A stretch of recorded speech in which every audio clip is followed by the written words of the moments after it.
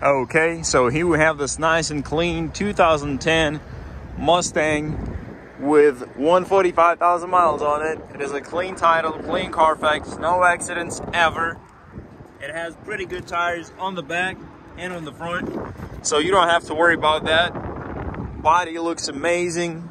Again, no accidents, so that's something to be expected. But buying a used car, I think the most important is the mechanical condition of it. So let me pop the hood for you so you could see that there is no grease, no oil leaks, nothing like that. Everything looks nice, dry and clean the way it should be.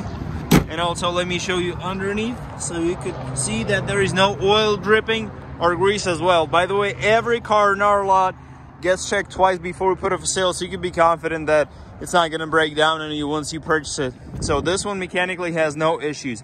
Okay, now let's take a look at this beautiful uh, light cream interior, red on, uh, it really looks great with light interior and uh, red color of the car. So the driver and passenger seats are complete, no rips, no holes, nothing like that. The rear seat as well. Here's your dash, no cracks, it's not sticky.